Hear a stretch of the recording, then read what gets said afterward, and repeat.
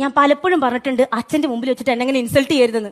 ഒന്നില്ലെങ്കിൽ ഞാൻ നിങ്ങളുടെ വൈഫല്ലേ എന്തിനാ എന്നോട് ഇങ്ങനെ അരവണ? അണവണ അരവണ മലക്ക് പോയാലേ കിട്ടുള്ളൂ. അല്ല അതല്ല. ഈ അണവണ അണവണകണ അണവണ അല്ല അവഗണന.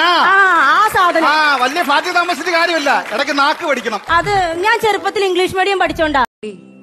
ഈ പണവും പദവിയുള്ള ആൾക്കാരെ കിട്ടാൻ ഭയങ്കര എളുപ്പാ. പക്ഷെ നല്ല മനസ്സിലുള്ളവരെ കിട്ടാൻ കുറച്ച് പാടാ.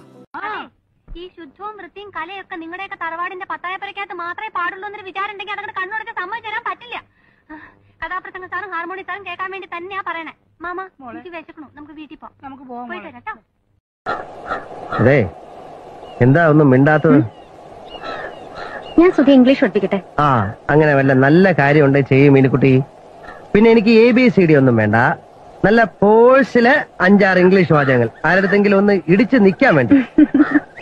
ശരി. വാട്ട്സ് യുവർ നെയിം എന്താണ്? What is your name what is your name അതല്ല. പേരെന്താന്ന്? സുധി ഇതാണ് ഒരു കാര്യം അറിഞ്ഞുകൂടാത്ത പോലെ. യോ അങ്ങനല്ല. ഇംഗ്ലീഷ് പറ. ഇംഗ്ലീഷിൽ എന്റെ ഒരു സുധി തന്നെ. അല്ലാതെ ഇംഗ്ലീഷിലാകുമ്പോ സുധി സുധി അല്ലാതാവോ? അയ്യോ അതല്ല. മൈ നെയിം ഈസ് സുധി എന്ന് പറയണം. ഓ അങ്ങനെ.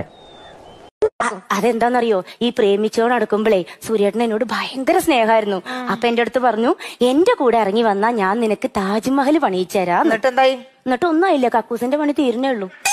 ഉണ്ട്. നിനക്ക് പ്രേമം വല്ലതും ഉണ്ടോ? അത് പിന്നെ എനിക്കും ഉണ്ടൊരു പ്രണയം. അവനെ പറ്റി പറയാൻ വേണ്ടി ഒന്നുമില്ല അവളെ പറയാണ്ടില്ലെങ്കിൽ എനിക്കെന്ത്? പറഞ്ഞാണ്ടല്ല അവനെ പറയാൻ വേണ്ടി ഒന്നും ഇല്ലെന്ന് അയ്യോ ഇങ്ങനെ ആരാ മനസ്സിലായില്ല? ഞാൻ ആക്ടറാ ഞാൻ ഡോക്ടറാണ് ഈ ആക്ടറും ഡോക്ടറും തമ്മിൽ ഒരു ബന്ധമുണ്ട് അറിയാം അതെന്ത് ബന്ധുവാ?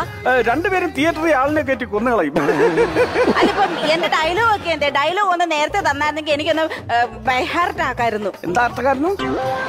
അവക്കിത് പഠിച്ചിട്ട്. പഠിച്ചെടുത്തിട്ട് എനിക്കത് തെറ്റാതെ പറയാറുണ്ട്. ഡയലോഗ് ഇല്ലല്ലോ. അയ്യോ ഡയലോഗ് ഇല്ലേ? പിന്നെ കാരണവരുണ്ടോ?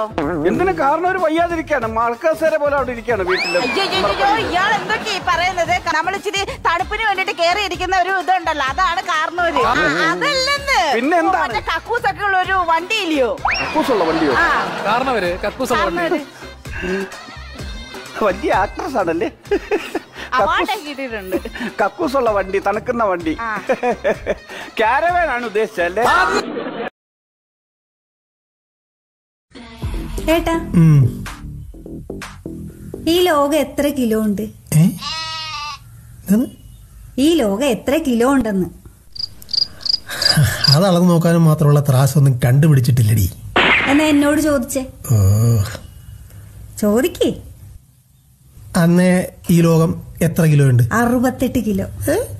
ആ എന്റെ ലോകം എന്ന് പറയുന്നത് എന്റെ ഏട്ടനല്ലേ?